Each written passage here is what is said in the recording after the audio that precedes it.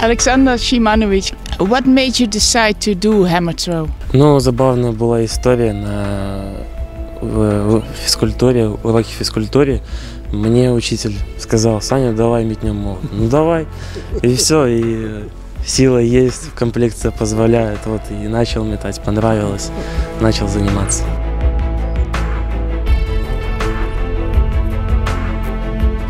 What kind of competition was it? Чувствовал себя хорошо, уверенно. Погода не мешала, наоборот, подбадривала. Ни холодно, ни жарко.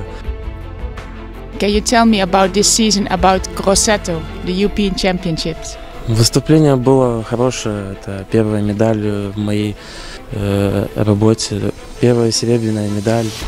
Вот. И, было хорошо. Сейчас дальше. Мог, но был готов на столько метров. Будем дальше тренироваться.